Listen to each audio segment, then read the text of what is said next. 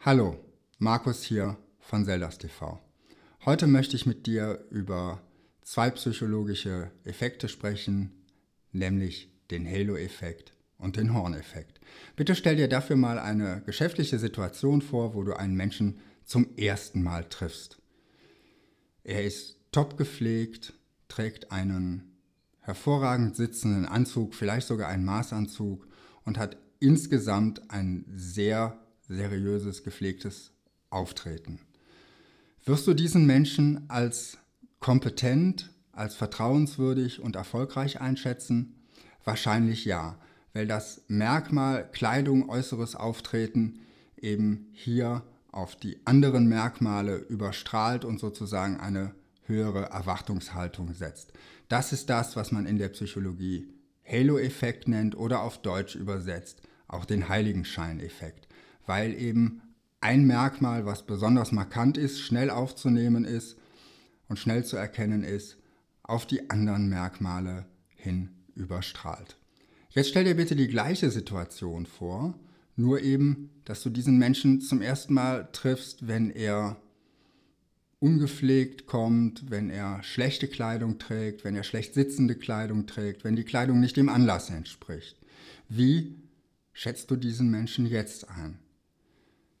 Wenn es dir geht wie den meisten, dann schätzt du ihn eher als erfolglos ein, du schätzt ihn vielleicht deutlich weniger vertrauenswürdig ein als den Menschen im ersten Beispiel oder du schätzt ihn auch als weniger kompetent ein.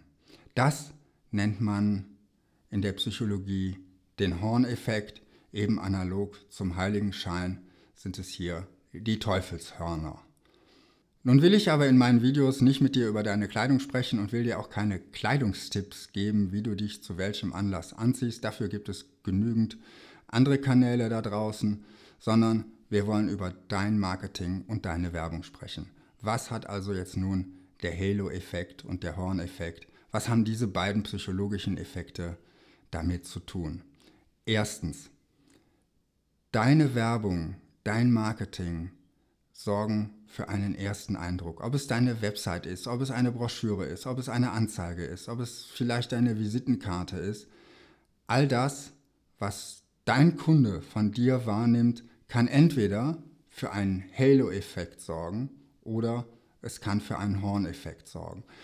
Wenn du also eine höchst, ein höchst professionell gestaltetes Marketing hast, professionelle Fotos, tolle Texte, und das Ganze auf, wenn du es in gedruckter Form machst, auf hochwertigen Papier rüberbringst, dann wird das sicherlich sehr positiv abstrahlen darauf, was man von dir an Kompetenz erwartet, was man von dir auch an, an Sorgfalt und Zuverlässigkeit erwartet.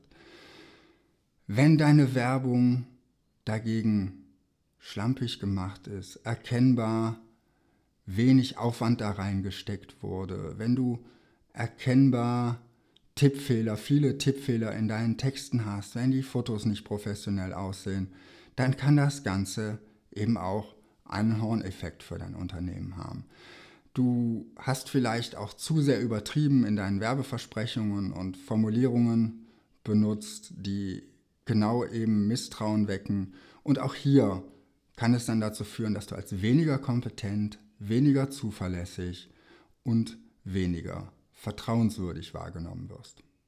Zweitens, du kannst den Halo-Effekt in deinem Marketing aber auch sehr gezielt nutzen, indem du ein Merkmal, was von außen leicht zu erkennen ist, besonders in den Vordergrund stellst, indem du das besonders bewirbst und in deiner Werbung besonders deutlich herausstellst. Das kann zum Beispiel sein, indem du Fotos von dem tollen neuen Design deiner Maschine zeigst. Wenn du ein sehr modernes, sehr stylisches Design auf deinen Produkten hast, dann kannst du vielleicht davon ausgehen, dass deine Zielgruppe deine Produkte als besonders innovativ wahrnimmt und auch die Technik, die unter dieser Verkleidung steckt, als besonders innovativ einschätzt.